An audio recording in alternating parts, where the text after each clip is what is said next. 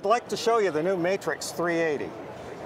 This is our new crossbow. We just brought it out a couple of weeks ago, and man, it is one shooting machine. It's narrower than our other bows. It's six full inches narrower, it's four inches shorter, it's lighter weight, and it shoots up to 380 feet a second. That's faster than the crossbows that we're making now by 30 feet a second. I'm sure this is going to be an important part of our line for a long time to come. Oh, very nice crossbow. What do you think of it?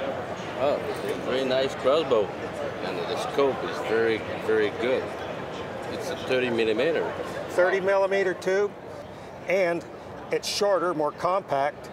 It gathers light better than our existing scopes, and the crosshair system makes sense.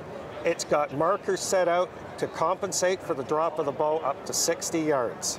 And it's, it's even adjustable. You can adjust it up to 400 feet per second to get precise placement of those yardage markers. What you're looking at there is our new anti-dry fire.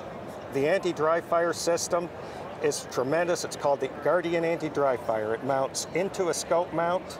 It'll stop you from dry firing the bow if you forget to put an arrow on so the bow won't be damaged and it can be disengaged easily to uncock the bow. So you can disengage it and use your rope cocker and uncock this bow just like every other Excalibur.